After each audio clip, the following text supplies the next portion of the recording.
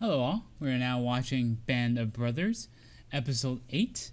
So, in the last episode, Speirs has taken over after the complete failure of Lieutenant Dike being an idiot. And, uh, but Easy Company is a little different now because they've lost people that they've we've seen for a while, like Guarnere and uh, Toye. And it was a very heavy episode. And as we approach the end of the war, I suspect things will get heavier. And I can't rem- I can't remember what they did after the Battle of the Bulge because, as I said in the last episode, uh, there isn't as much information about like U.S. battles after the Battle of the Bulge, because after that was just that sounds kind of mean, but it sounds it's basically like the mass surrender of those Germans by the river and some basically cleanup operations through cities. But a lot of it they uh, they had to go through it house by house. So I wonder if the show will decide this. Other than that, yeah, that's uh, basically it for, uh, and we're gonna start. Let's go. came to me Yeah, Eugene. about 10 minutes after he was killed, and he wanted me to see if I wanted to go look at him, and I said no, I wouldn't be able to stand that, so I, I didn't go look at him. After best. The Last Patrol. Just across the river. I had missed Bastogne. All I knew was what I had read and heard around the replacement depot. That, we had Oh, broken so the back of the enemy and the war would soon be over.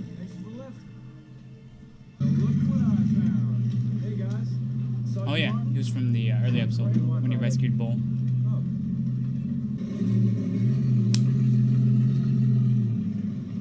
This is the guy that said that looked like Paul Rudd. Who's leading the platoon? Sergeant Malarkey is. What, no officers? I guess you didn't hear. Oh, what's that? Mickey Malarkey, lieutenant. Oh wow. Fast track now. Really? That's great. Mhm. Your bill got hit. They rode like 15 feet.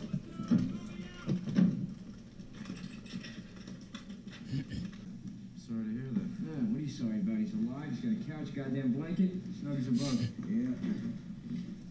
Uh, Sergeant Malarkey said to check with the CO if I should be in second platoon. As you were. Lieutenant Jones looking for Captain. Oh, I think this is Would Tom like Hanks' son. No, thank you. Oh, I think. Tom Hanks' son. I forgot his name though. What platoon are you in? We'll need a lead scout, a translator. I've got the entire battalion on covering fire. When? D-Day, yes, sir. Alright, don't get hurt. Sir, I'd like to. Arrest. Captain, request permission to go on the patrol. There's your answer. No. You don't have an experience. Oh Or wow. platoon. Yes, sir. So he's now leading their platoon.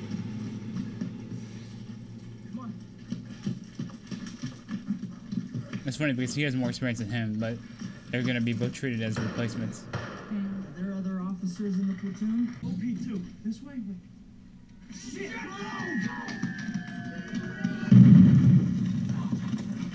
This is Lieutenant Jones, just assigned to second platoon. Malarkey, platoon sergeant. Congratulations on the battlefield crew. What? So you want to introduce me to the men? well, some are sleeping downstairs. The rest are right here. I mean, this isn't like class. Yeah, yeah I don't. Sergeant, uh, patrol's being planned for tonight, Zero. This is the Pick 15 then. Mm-hmm. Lieutenant Jones wants to be one of them. I said let the kid go. Use experience. Probably to find 14 replacements to help him out. God. I take it this was already an outpost for you. Can't let on that you know. Your secret safe, Webb. What was it? He's gonna spill it immediately.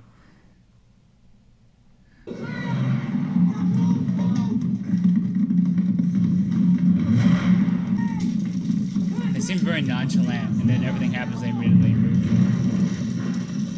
Sometimes die in the fever pitch of a firefighter by artillery when they're huddled in a foxhole.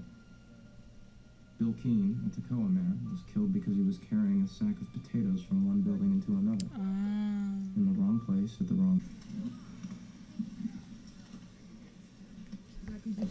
Hey! You want anyone from first?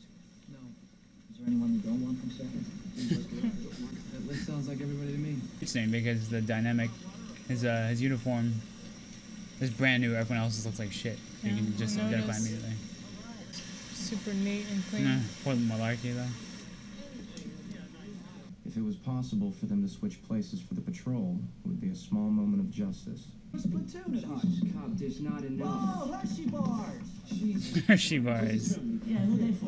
Not you. Oh, come on, George, one bar. No, there's not enough to go around. You gotta be Good. shitting me. What's up, guys? Oh. Like we do with the plays, No. George. Yeah, yeah, yeah, I did good. Jesus, but I don't know, maybe. I smoke cigarettes. Oh, this is disorganized chaos. Please. Take it. Come on, fucking day. Give me a bar. Organized chaos. That's the word I'm trying to go for. Cigarettes. Could use the experience. Denied. Anything else? There'll be a briefing. CP 1700. Yes, sir. They want to see experience so Who do have badly. in mind leading this thing? As you can see, we've assembled 15 of you here for this prisoner snatch tonight. 0100. Just a couple. McClung, Sisk, Cobb, Garcia, and Webster, this translator. The rest of you guys, a base of fire. Was he deliberately picking him? On him? Good. The show seems to kind of emphasize that. Good luck. Sir. And hut. As you were, carry on. Nothing rattles, nothing shines, no helmets. no helmets. Oh wow. Supposed to stay in the rear and give them cover. Yeah, it's the best place to be. I wonder if Malarkey sympathizes with him on that. Hmm. I guess they're burning the site to make the site look clear. I don't know why they'd be doing that. The same mission could be met with disaster and result in nothing more than 15 Americans killed or wounded in action. Yep. Oh, that's neat. Searchlights. Mm.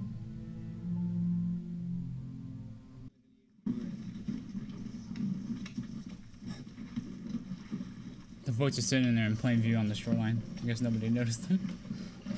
Maybe that's why they're black and not like white. Yeah. Something dark.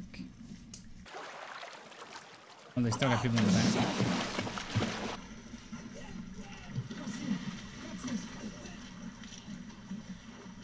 Oh, naturally. So that means with less people covering, that means the, they probably have to join.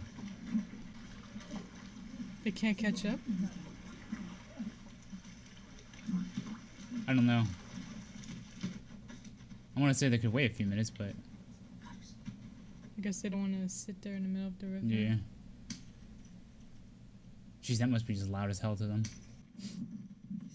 Yeah, I guess those are for rattling if someone walks into them, the cans.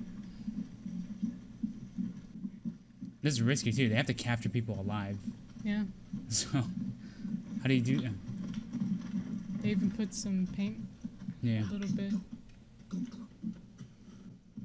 Very organized. Yeah.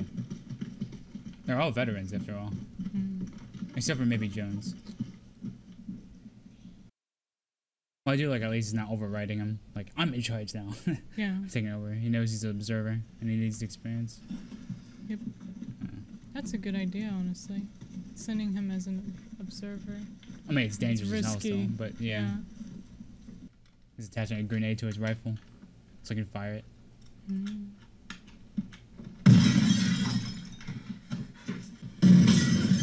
Oh. Oh,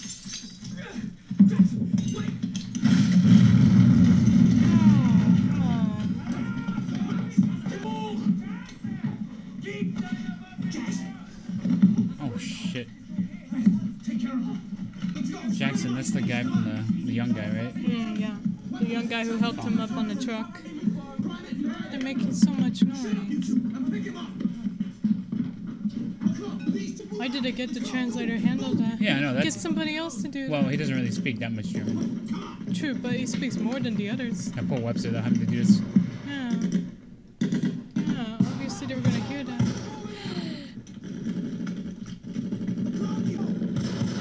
There's Heffron.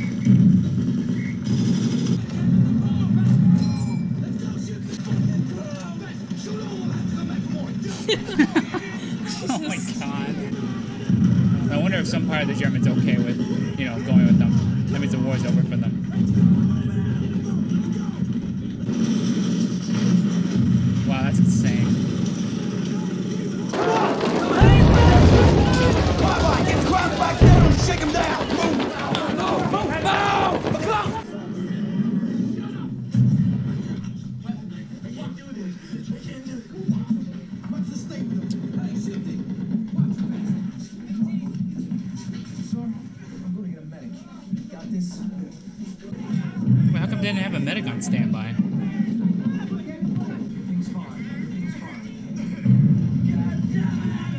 No.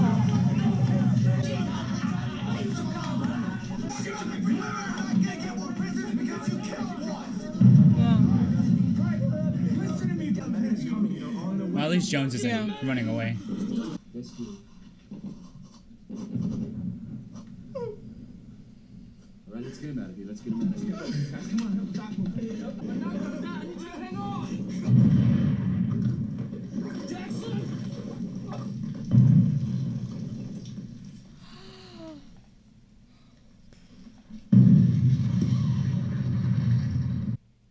Fucking hell.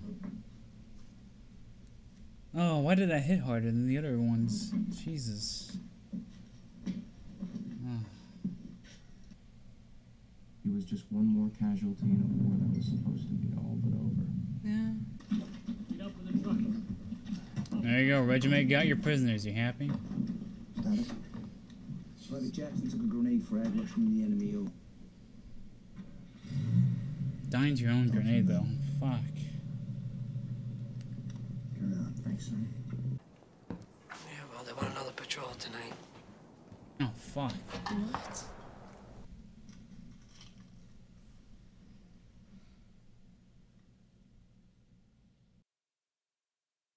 doing, cop? You leave someone in the bank? Yeah. Yeah, we did. I, cause I remember they brought three prisoners, Yeah. so I was confused when they mentioned I thought the third two. guy was in there, too. Yes, sir, I am drunk, sir. Hey, come. Shut up. It's boring, okay? Nixon Winters. Yep, Nixon and Winters again. So They're always at that spot. man. Yeah, he knows. Mm. He also knows he picked up two prisoners who talked. About what? He gave him a successful patrol, now he wants two. Successful. God, Speirs just puts his mouth, puts his foot right through that gap. And easy. Got them all the same. Did he really need more prisoners? Have you briefed the man? Uh, just on our way, sir. All right. I'm damn sure you remind them how proud I am of what they did. Yes, sir. I don't think they. It just shows how disconnected in They a way care. from Yeah. the officers Yeah. down to the ground ground level Prisoners now, officers. sir? Yeah. I mean, they'll follow orders. Doesn't mean they have to like it. No. Yeah, exactly. Last night will go up in flames, Martin. Yes, sir. Means we'd have to venture farther into town this Oh, time. Jesus. Cap- Speirs, you have the map, please. That's it? They clear? Good, because uh, want you all to get a full night's sleep tonight. Which means in the morning you will report to me that you made it across the river into German lines. We're unable to secure any live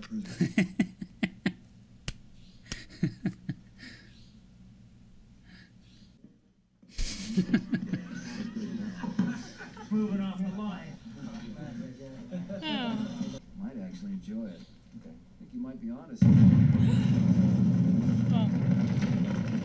Oh, Lieutenant Jones. Sir, join us at the company CP. That's nice. oh, that's nice. You invited him along this time. Mm. Like your experience experienced enough. Congrats, you survived two missions. Yeah, that's right. Officially two missions. uh, First Sergeant Lynch went to staff up there. far with that.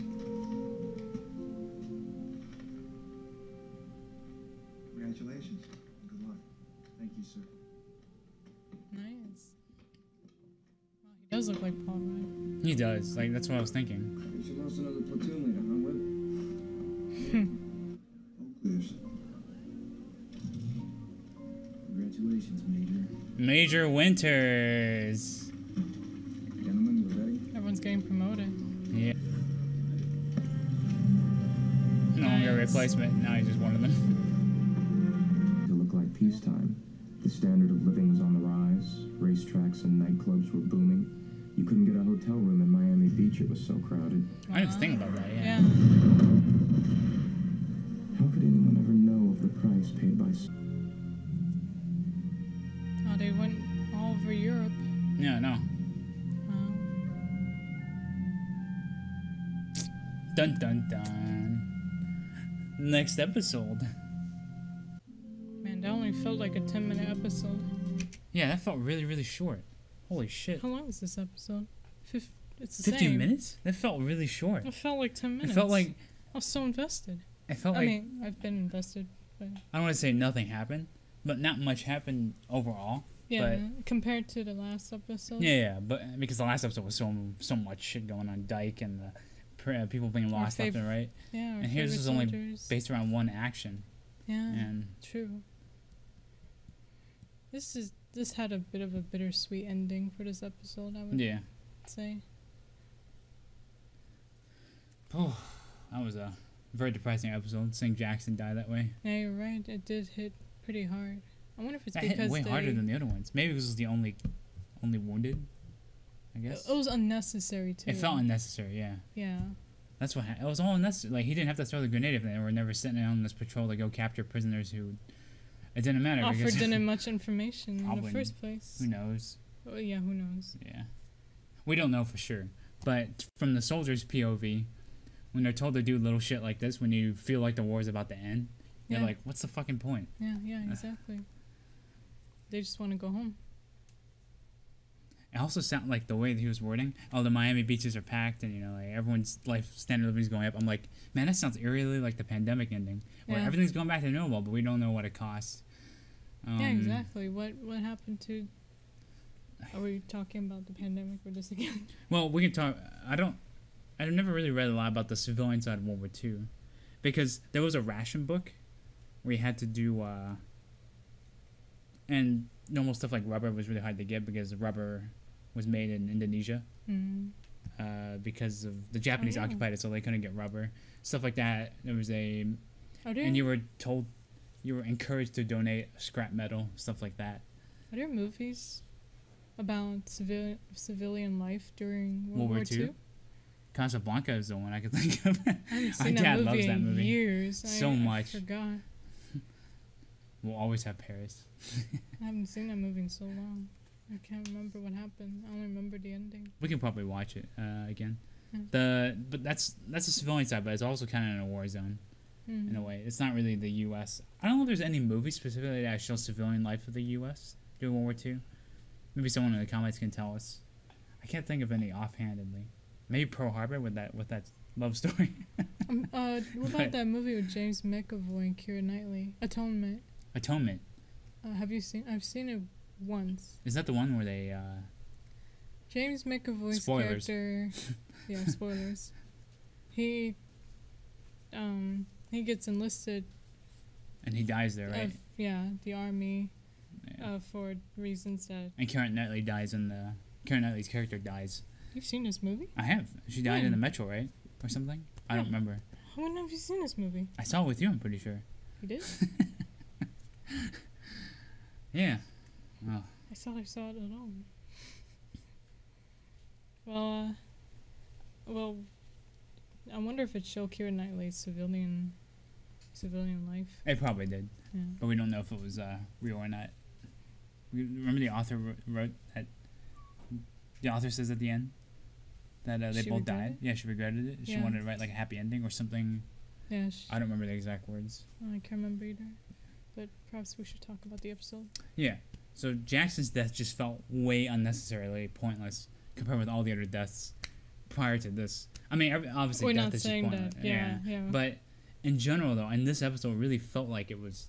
It What was the so point? Drawn out too. Yeah, that was so that was so depressing. Yeah. Actually, one was I, so I, had- young. I was kind of teary there. I had I Yeah. accidentally grabbed two handkerchiefs this time. I should have grabbed one. No, Man, that really sucked. I did. And Jones had to like step in just to prevent them from shooting the prisoners. He did a good job actually. Yeah. Uh, like you, I saw he would run because it's his. Uh, it's a test to his uh, skills. I mean, Yeah. Mhm. And uh, if they, if that's Tom Hanks' son, right?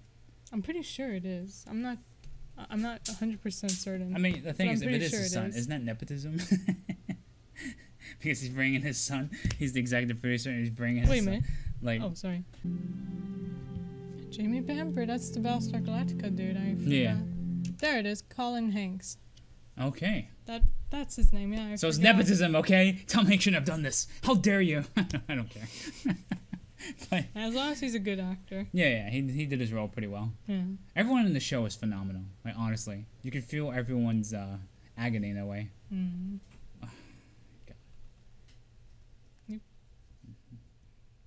Yeah, I feel like the show has completely depicted what World War II is like, and you, every episode, every time we watch the show, I feel like God, this whole thing is just so sad. Yeah, and there's no stupid glory or anything No, you've seen nothing. other. In, The, Ho- in Hollywood movies, everyone's like, "I'm gonna go first, and I'm going to sa- die to save your life," but in this Yeah. show, it's everyone wants to go home. Yeah, you can see people like Cobb losing it, like drunk. They're just done with this shit. And I don't blame him. Yeah, in a way, I don't blame him. On the other hand, he shouldn't be taking it on the other two. They're they're, like they're there with them, He and was- he joined them on the mission, yeah. so you can't complain about Webster. He's been Yeah. bullying Webster since Seriously, Webster looks like his actor looks like Paul Rudd. I can't get over that. he looks familiar. I can't think. Kept thinking, oh man, Ant Man's joining them, but it's not the actor. so, uh, yeah. And uh, even Winters has caught on that this is stupid anyway. So you guys went on the mission, okay? It says so in the paper. You guys went on that mission. I'm glad he uh, did that for them. Yeah. You could see his tiny, tiny smirk when he said that. I was like, ah, sneaky bastard. sneaky, sneaky.